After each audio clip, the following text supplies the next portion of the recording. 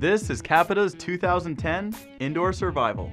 With a medium twin flex and a twin shape, the Indoor Survival is best suited for the intermediate and beyond rider that wants a board that is great on jibs, yet will be nice and snappy off jumps. The Indoor Survival comes in both traditional camber and FK rocker.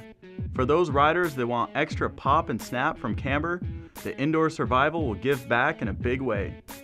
The certified sustainable wood core will allow you to give back to Mother Nature as you thrash the mountains.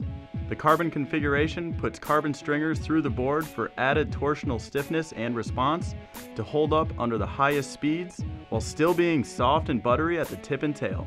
The indoor survival has proven to survive in terrain in and out of the park.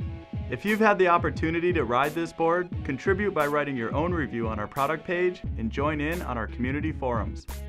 Also, get info through our live chat with expert staff and community members sharing advice from one rider to another. For further research, check out our how-to videos.